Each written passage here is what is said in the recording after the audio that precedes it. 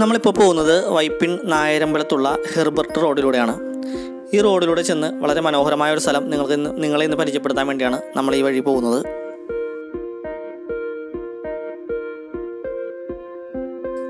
Herbert road ചെന്ന് അവസാനിക്കുന്നത് ഒരു പാലത്തിലാണ്. ആ പാലത്തിനെയും പൊതുവെ പറയുന്നത് ഹെർബർട്ട് പാലം എന്ന് തന്നെയാണ്.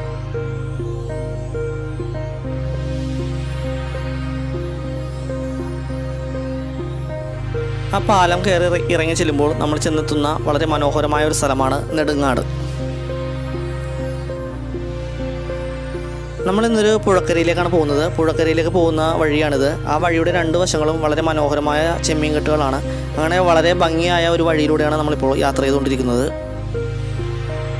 അരുൺ സെക്കാൻ ട്രാവലിലേക്ക് എല്ലാവർക്കും സ്വാഗതം. അപ്പോൾ നമ്മൾ ഇന്ന് വന്നിരിക്കുന്നത് വൈപ്പിൻ നെടുങ്ങാട് സ്ഥിതി ചെയ്യുന്ന ഒരു വീരമ്പുഴ. വീരമ്പുഴ കാണിച്ചു തരാൻ വേണ്ടിയാണ്. വീരമ്പുഴയിലെ വിശേഷങ്ങളിലേക്ക് നമുക്ക് കിടക്കാം. ഇതാണ് വീരമ്പുഴ.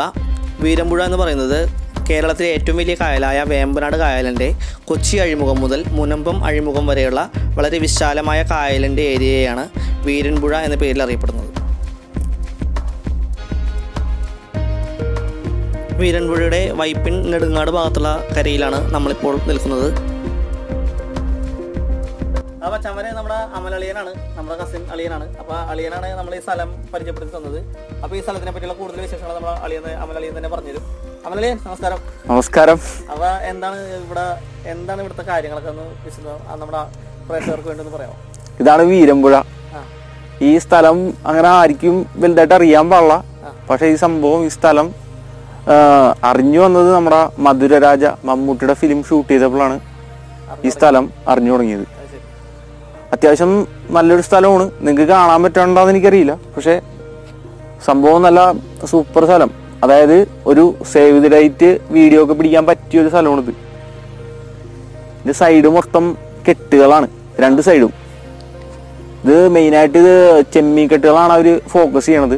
ചെമ്മീൻ മാത്രമല്ല പല ടൈപ്പ് മീനുകളുണ്ട്. പക്ഷെ എന്നാലും അവർ മെയിനായിട്ട് ഫോക്കസ് ചെയ്യണ ചെമ്മീനാണ്. ഇതാണ് അവരുടെ പത്തായപ്പുര എന്ന് പറയും. പത്തായപ്പുരയാണെന്ന് എനിക്ക് അറിയില്ല. പക്ഷെ ഇത് അവരുടെ ആ സാധനങ്ങളൊക്കെ സ്റ്റോർ ചെയ്യണ ഇവിടെയാണ് ഷൂട്ടിംഗ് ഇവിടെ തന്നെ എങ്ങനെയായിരുന്നു? അതായത് ഷൂട്ടിങ് ഇവിടെ വെച്ചിട്ടും കുറച്ച് ഷോട്ടുകൾ ഉണ്ടായിരുന്നു. അപ്പുറവും ഇപ്പുറവും ഒക്കെ ആയിട്ട് രണ്ട് സൈഡുമായിട്ട് ഷൂട്ടിംഗ് ഉണ്ടായിരുന്നു. അങ്ങനെയാണ് ഈ സ്ഥലത്തിൽ കൂടുതൽ ഫേമസ് ആയത്. അപ്പോൾ അവർ അങ്ങാട് പോയത് എങ്ങനെയാന്ന് വെച്ച് കഴിഞ്ഞാൽ ബോട്ടിനാണ് പോയത്. നമുക്ക് ബോട്ടിലാത്തോണ്ടിട്ട് അങ്ങാടൊന്നും പോകാൻ പറ്റില്ല. അതുകൊണ്ട് നമ്മളിവിടെ അതെ അതെ അതെ അതെ. മമ്മൂട്ടിയെയും ബാക്കിയുള്ളവരെല്ലാരും എല്ലാരും ബോട്ട് മാർഗമാണ് അപ്പുറത്തെ സൈഡിലൊക്കെ പോയി ഷൂട്ട് ചെയ്തത്. നമുക്ക് ഈ സൈഡിൽ ഈ ഐലൻഡ് എവിടെ ശരിക്കും? ഇവിടെ ഈ ബോട്ട് കയറി പോണ സ്ഥലത്ത് ഐലൻഡ് ഒരു ഐലൻഡ് പോലെയൊക്കെ സിനിമയിൽ കാണിക്കും. ഐലൻഡ് ഷൂട്ട് ചെയ്തത് അവിടെയാണ്.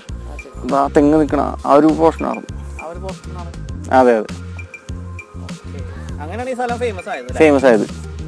വൈകുന്നേരമൊക്കെ ആൾക്കാർ ഒരുപാട് വന്നിരിക്കണം വന്നിരിക്കാറുണ്ട്. അതായത് വൈകുന്നേരം ആൾക്കാർ ഫാമിലി ആയിട്ട് കാറ്റുകൊള്ളാനും പിന്നെ പിള്ളേർ ഗ്യാങ് സെറ്റ് അങ്ങനെയുള്ള ഒരുപാട് ആൾക്കാർ ഇവിടെ വന്നിട്ട് കാറ്റുകൊള്ളാനും മറ്റു കാര്യങ്ങൾക്കൊക്കെ ആയിട്ട് ഇവിടെ വന്നിരിപ്പുണ്ട്. അപ്പം അങ്ങനെ അത്യാവശ്യം നല്ലൊരു സ്ഥലമായിട്ട് ഇത് മാറിക്കഴിഞ്ഞു.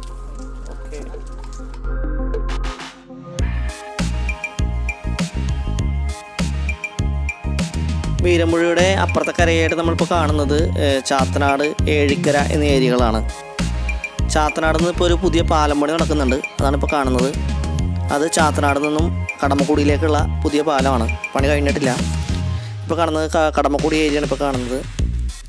പിന്നെ ദൂരെ ഒരു ഏരിയയിൽ ചെറിയ വലിയ ബിൽഡിങ്ങുകൾ നമുക്ക് കാണാൻ പറ്റുന്നുണ്ട്. അത് ഗോശ്രീ പാലത്തിനടുത്തുള്ള പ്രസ്റ്റീജിന്റെ ബിൽഡിങ്ങുകളാണ്.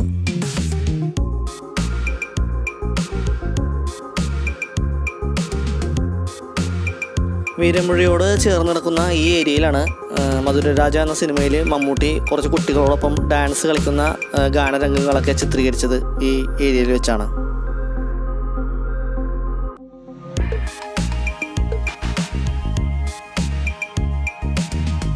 ഇത് വീരമ്പുഴയോട് ചേർന്ന് തന്നെയുള്ള ചെമ്മീൻ കെട്ടുകളാണ് ഇവിടെ ഒരുപാട് ആളുകൾ മത്സ്യകൃഷിയുമായി ബന്ധപ്പെട്ട് ജീവിക്കുന്നുണ്ട്.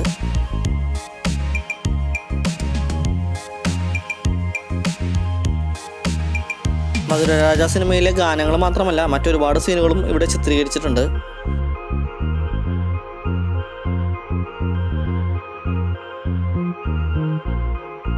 മധുരരാജ സിനിമ വന്നതോടുകൂടിയാണ് ഈ സ്ഥലം ഫേമസ് ആയത്. പക്ഷേ മധുരരാജ മാത്രമല്ല മറ്റൊരുപാട് സിനിമകളും ഒരുപാട് ആഡുകളും അങ്ങനെ ഒരുപാട് ഷൂട്ടിങ്ങുകളൊക്കെ നടന്ന നടക്കാറുള്ള ഒരു ഫേമസ് ആയിട്ടുള്ള ഒരു സ്ഥലം തന്നെയാണ് ഈ വീരമ്പുഴ.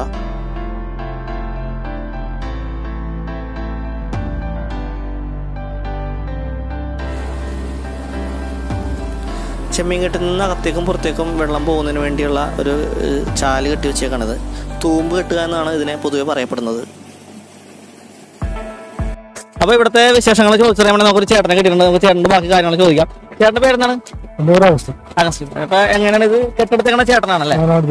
അപ്പൊ ഇത് ഇതെന്താണ് ഇപ്പൊ നമ്മൾ വെള്ളം ഇറക്കിക്കൊണ്ടിരിക്കുന്നത്? വെള്ളം കയറ്റിയിട്ട് വന്നിട്ട് നമ്മൾ നെറ്റ് വെച്ചിട്ട് വെടിയിട്ട് വെള്ളം വിട്ടുകൊണ്ടിരിക്കും പരി പരിധി വരെ നമ്മളൊരു കണക്കുണ്ട് ആ കണക്ക് കഴിഞ്ഞ് കഴിഞ്ഞിട്ട് നമ്മൾ ചലാൻ വരും. ചെമ്മീൻ മാത്രമേ അപ്പൊ ഇതിനകത്തല്ലേ ചെമ്മീനും മീനുണ്ടാവും ചെമ്മീനുകളെ കേട് പിടിക്കും മുഴുവൻ ചത്തു വീഴും കേട് കുറഞ്ഞിട്ട് ഒരു ഒരു അന്തമില്ലാണ്ടിരിക്കുന്നു സാധാരണ കേട് കുറഞ്ഞിട്ടുണ്ടെങ്കിൽ ഒരു രണ്ടു മൂന്ന് റക്കം കഴിയുമ്പോൾ അതിങ്ങനെ മാറും. ആ ആ. ഇപ്പൊ ആ ഒരു മാറ്റമില്ല. ഇപ്പൊ അവർ ഇങ്ങനെ കണ്ടിന്യൂ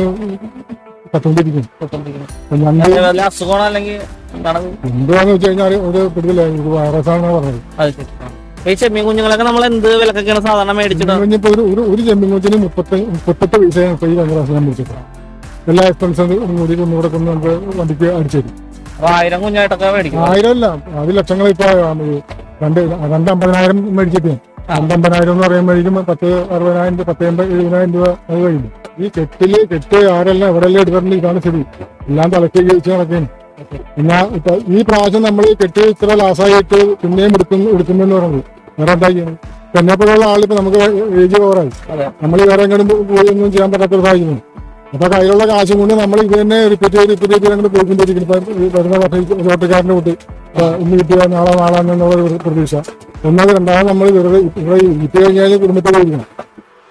വെറുതെ പെരുമ്പടിച്ച് വരും അതുകൊണ്ട് ഒരു ആക്റ്റീവായിട്ട് നമ്മൾ ഒരു ആക്റ്റീവായിട്ട് നടക്കുകയും ചെയ്യാം. നമുക്ക് എന്തെങ്കിലും ഇടപാടായിരുന്നു പറയുമ്പോൾ ആരെങ്കിലും ചോദിച്ചാൽ ഇങ്ങനെ നടത്താൻ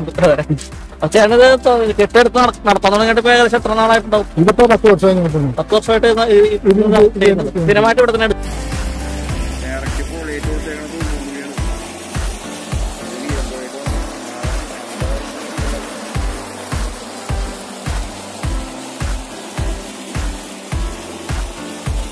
മധുരരാജ സിനിമയിൽ ഇലക്ഷൻ പ്രചരണവുമായിട്ട് ബന്ധപ്പെട്ട് പന്തൽ കെട്ടുന്നതും അങ്ങനെ കുറച്ച് സീനുകൾ കാണിക്കുന്നുണ്ട്. അതൊക്കെ ഷൂട്ട് ചെയ്ത് ഈ വീടിന്റെ സൈഡിൽ കാണുന്ന സ്ഥലത്താണ്.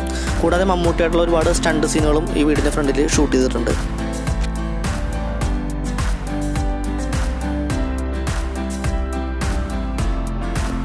ഇത് നമ്മൾ വെളുപ്പിനെടുത്ത ഷോട്ടായതുകൊണ്ട് തന്നെ വളരെ മനോഹരമായ സീനുകളാണ് നമുക്ക് കിട്ടിയിരിക്കുന്നത്.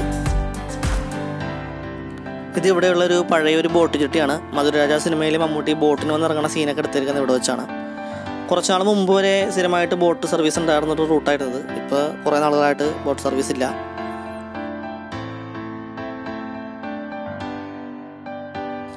വീരമ്പുഴയിലെ ഷൂട്ടിംഗ് കഴിഞ്ഞ് നമ്മൾ തിരിച്ച് പോകാൻ ഇറങ്ങുകയാണ്. അപ്പോൾ ഇറങ്ങുന്ന ഈ വഴികളും ഫേമസ് ആണ്. വീരം മധുരരാജ സിനിമയിൽ മമ്മൂട്ടിയുടെ ഇൻട്രോ ഒക്കെ എടുത്തത് ഈ വഴിയിൽ വെച്ച് തന്നെയാണ്.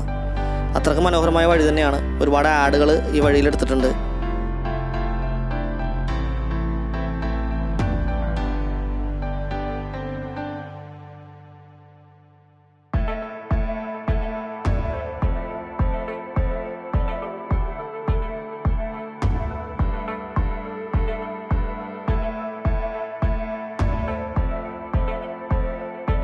ഇത് വീരമ്പുഴയിലേക്കുള്ള കൈവഴികളായിട്ടുള്ള കുറച്ച് ചെറിയ ചെറിയ പുഴകളാണ്. അപ്പോൾ നേർ നമ്മൾ നേരത്തെ കയറിയ ഹെർബർട്ട് പാലമൊക്കെ ഈ പുഴയുടെ മുകളിൽ കൂടിയാണ് പോയിരുന്നത്. ഇതിനോട് ചേർന്ന് തന്നെ ബോട്ടുകളൊക്കെ ശരിയാക്കുന്ന ഒരു ഏരിയ ഉണ്ട്. അതായത് ഫിഷിംഗ് ബോട്ടുകളൊക്കെ സർവീസ് ചെയ്ത് കൊടുക്കുന്ന സ്ഥലങ്ങളൊക്കെയാണ് ഇതിനോട് ചേർന്ന് തന്നെ ഉള്ളത് അപ്പോൾ ഇതോടുകൂടി ഇന്നത്തെ വീഡിയോ നമ്മൾ അവസാനിപ്പിക്കുകയാണ്. അപ്പോൾ നമ്മുടെ ചാനൽ സബ്സ്ക്രൈബ് ചെയ്യാത്ത ആരെങ്കിലും ഈ വീഡിയോ കാണുന്നുണ്ടെങ്കിൽ ദയവായി നമ്മുടെ ചാനൽ സബ്സ്ക്രൈബ് ചെയ്യുക.